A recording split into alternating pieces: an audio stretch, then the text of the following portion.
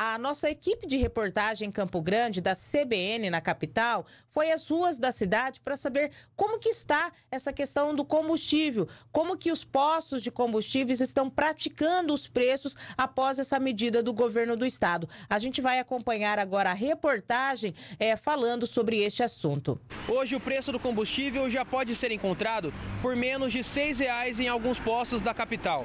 E de acordo com a opinião dos motoristas, essa diminuição já fez a diferença no orçamento. Tem que ser dessa forma, né?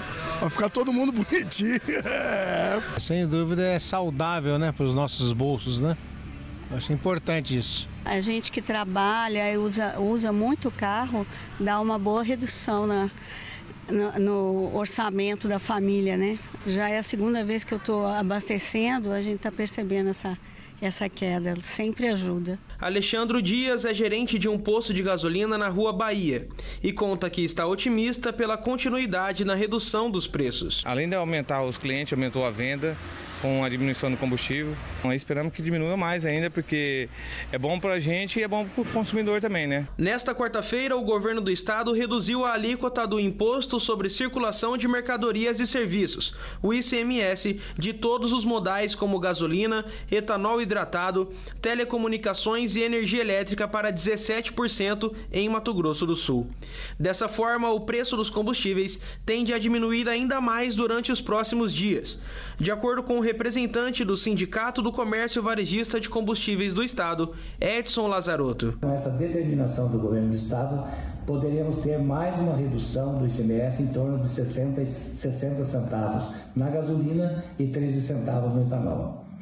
Importante frisar que os, as cidades que estavam vizinhas do nosso o Estado, como no caso Paraná e São Paulo, estavam com sérias dificuldades porque os outros estados já tinham reduzido e nós ficamos uma disparidade de preço. Com isso, vai ficar uma disputa saudável apenas de competitividade e de atendimento e que trará benefícios para o consumidor final que está feliz com essa redução.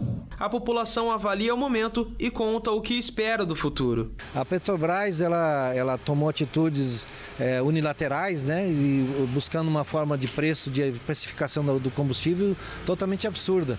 E a gente via que aumentava 5, 10, 15, chegou a aumentar 14% o diesel no último tempo, no último aumento, e é um absurdo, não tem explicação para isso. O dólar estava baixo, o barril, o barril de petróleo estava baixando e mesmo assim estava aumentando os preços.